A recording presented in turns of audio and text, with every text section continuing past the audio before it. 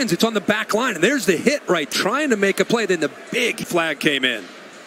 Looks like he hit him with his shoulder. Crew will take a look at this one. Now, there was the helmet to helmet. That replay took this targeting rule off.